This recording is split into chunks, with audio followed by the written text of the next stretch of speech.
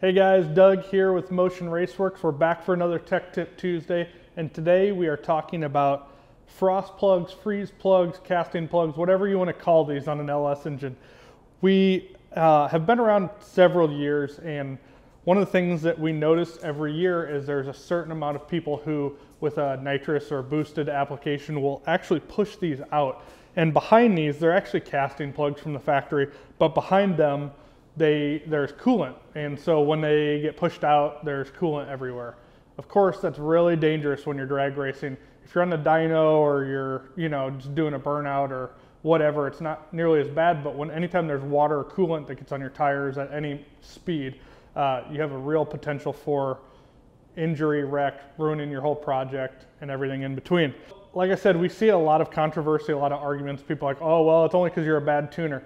I'm here to tell you, I've seen the tunes. I know the people are tuning these vehicles. It is not because of anybody's a bad tuner or a good tuner or too much boost or anything of that nature. Now let's break into some facts. Aftermarket LS heads do not have these. So one of the conversations that I see talked about are people saying, well, if you're pushing those out, you have other problems. No, not necessarily. Factory heads don't have them, or aftermarket heads don't have them. Factory heads do have them. And the reason why uh, they can be an issue is heat of the cylinder head. Basically, anytime you add nitrous or boost, you're creating conditions that it wasn't designed for originally. And with two dissimilar metals, you have an aluminum head and a, and a uh, steel plug in there, you have an opportunity to have things heat up and distort and uh, of course they'll come right out. And it's happened. Uh, when we first introduced the product I'm about to show you, people so, told us we were crazy, not needed, whatever. Um, but then this year, lots of people started pushing these out. And uh, I think every year it seems like the industry is pushing these vehicles harder. So I'll introduce the product next and I'll show you how we came up with a solution. So holding these into your engine can be accomplished a number of ways. If you have the, the heads off of your car, have somebody weld them shut. You can also have a drill and tap them for a huge pipe plug. That's also an option. If your heads are on the vehicle, like I would assume a lot of yours are, um, or you don't want to pull them off and have to pay for new gaskets and all that business, we developed these billet uh, block plugs. So I'll go ahead and open these and show you how they work. So like I said, this isn't your only option. You can definitely make this at home. We came up with the idea, but I would just love to see you guys be safe. So definitely consider this if you're using factory heads, whether you weld them in, make your own version of this, buy ours, pipe, plug, whatever. Um, I think it's just a good option to find a way to keep these in so you keep the water off your tires.